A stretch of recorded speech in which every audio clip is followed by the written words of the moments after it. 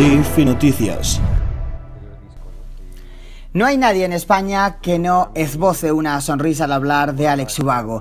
Cientos de sus canciones han servido como banda sonora de las relaciones durante sus casi 20 años de carrera. Ahora lanza Canciones y Puntuales, un trabajo en el que vuelve la melancolía y el desamor, a pesar de que en su vida personal se encuentra en su mejor momento.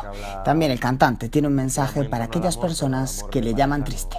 Aquí me considero un tío con mucho sentido del humor muy cachondo. Yo siempre a la gente que me dice, tío, que es un tío que es un poco triste y tal, yo digo, vente conmigo de cañas y, a ver, yo creo que la gente cambia la, percepción. Ahora, una cosa es la forma de ser y otra, pues el tipo de música que haces o tal, ¿no? O sea, yo hago lo que hago, a quien le guste bien y a quien no, pues, pues para eso están los gustos, ¿no?